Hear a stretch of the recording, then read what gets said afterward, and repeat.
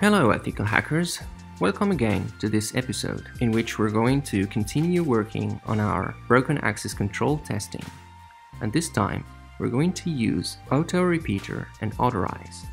As I said in the part 1 of this tutorial, it's really important you master the skill of testing broken access control, because trust me, you will find it everywhere in the applications you're going to test.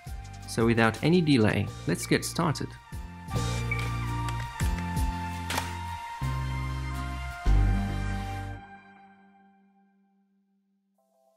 Auto repeater as well as authorize don't work the same way as auth matrix. In auth matrix, you manually send the requests that you want to test, while authorize and auto repeater will listen for any incoming requests in the proxy and then replay them automatically. This is good if you want to test things on the fly. I personally prefer to choose my requests accordingly that way I don't get lost with a bunch of requests that don't change the state of the application. Because at the end of the day, you need to make sure that there is some impact with the broken access control that you, you found.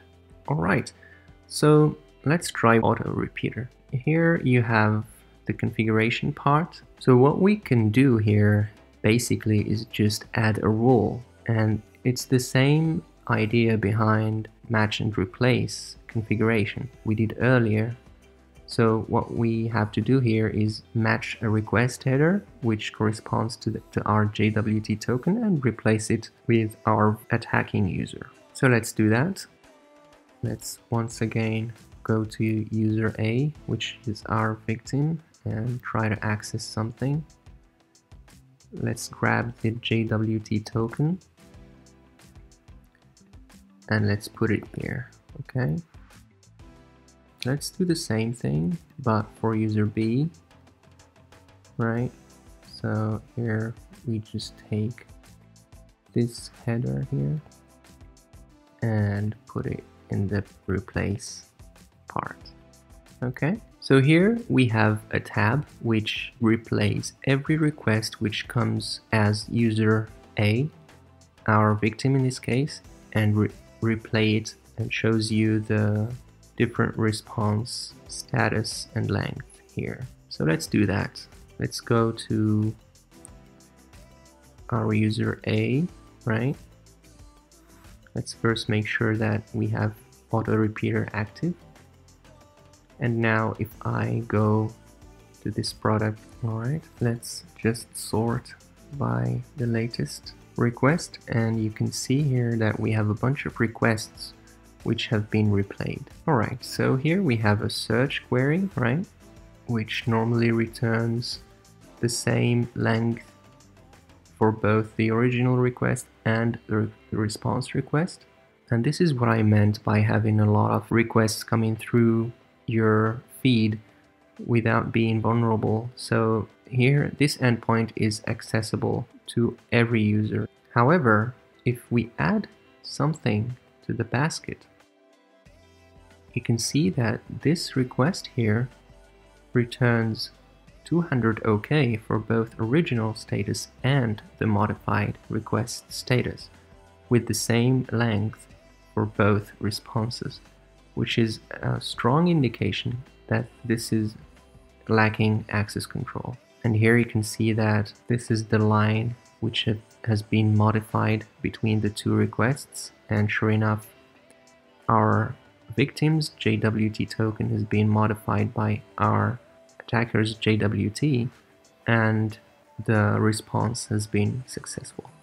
And this is also extendable to many users. So for example, you can just hit a new tab here and add our second role, which would change the users A JWT to users C.JWT, right?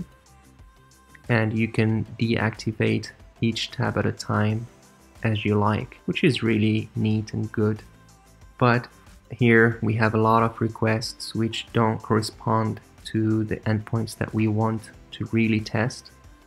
So in this case, we can apply some conditions here, right? And this extension doesn't allow you to save the tested requests, but I just use auto repeater if I want to repeat a request multiple times using different payloads. It's not really my go-to tool when it comes to broken access control. But here you have it, you can you can use it as well. And the last extension that I want to talk to you about has a lot of features, which is Authorize. So right now Authorize is off. Let's just go ahead and make sure that our both tabs have been deactivated, right?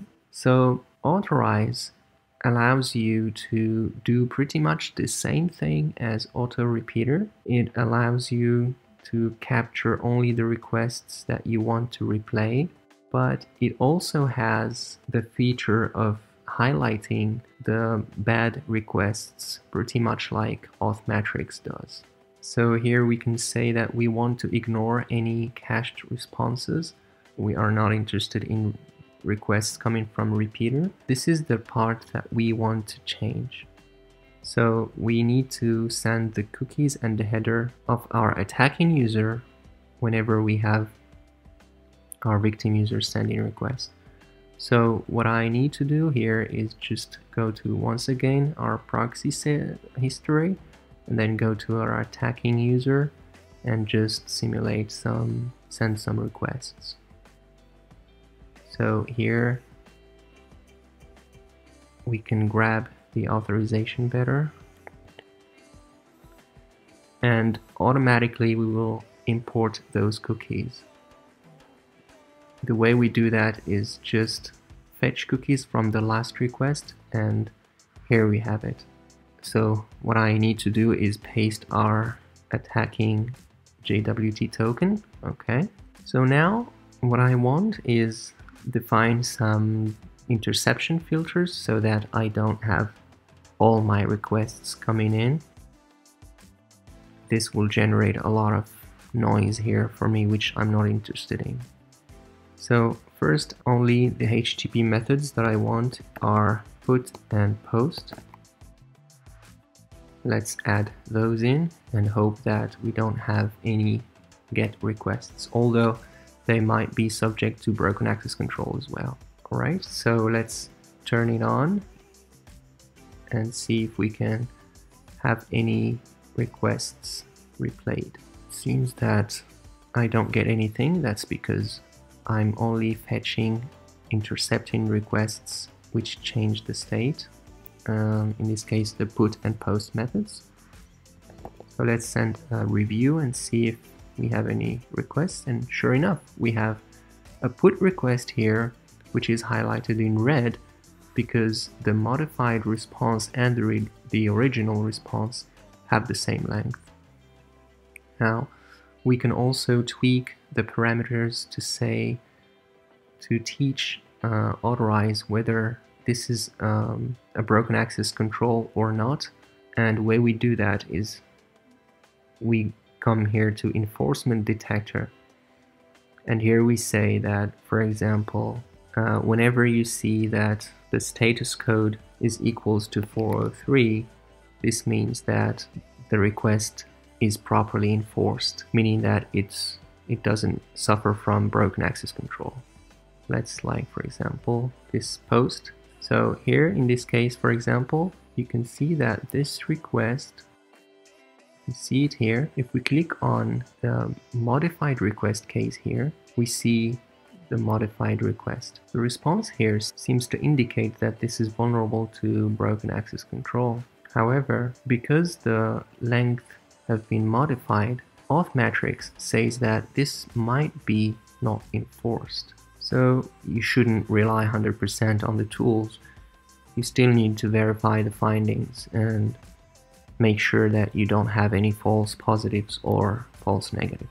So that's it. I hope you found this uh, tutorial helpful for you and I hope that you add testing for broken access control in your arsenal and that you add either Authmetrics, Authorize, auto repeater or maybe just change uh, the proxy match and replace configuration. You, you really have to add those to your toolset and start testing for broken access control because believe me, there are a lot of applications which are vulnerable to that. So until the next tutorial, stay curious, keep learning, and go find some bugs.